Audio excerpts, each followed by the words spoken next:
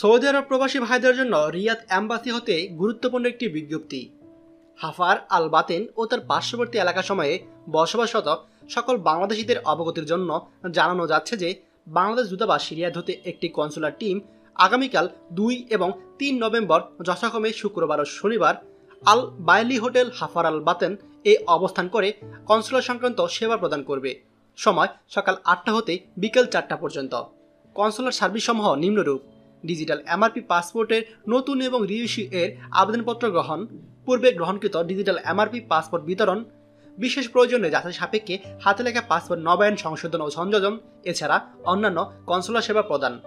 Digital passport MRP এবং উহার reissue নবায়নের জন্য পূরণকৃত ডিজিটাল পাসপোর্টের ফর্ম, পুরনো পাসপোর্ট ও ইকামার ফটোকপি, সাম্প্রতিক তোলা এক কপি পাসপোর্ট সাইজের রঙিন ছবি আবেদনপত্রের সঙ্গে সন্নিবেশিত করতে হবে। আবেদনকারীকে অবশ্যই সশরীরে উপস্থিত হয়ে কনসুলার সেবা গ্রহণ করতে হবে।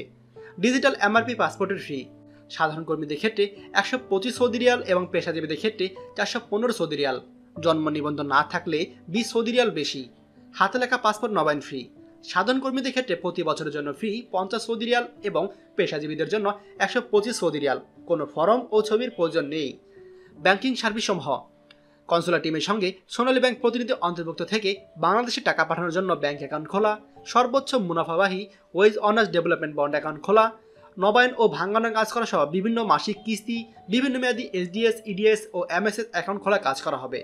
এছাড়া প্রবাসী বাংলাদেশি কর্মীদের ওয়েজ অনার্স কল্যাণ বোর্ডের ডাটাবেস সদস্য হিসেবে অন্তর্ভুক্ত করার কাজ করা হবে।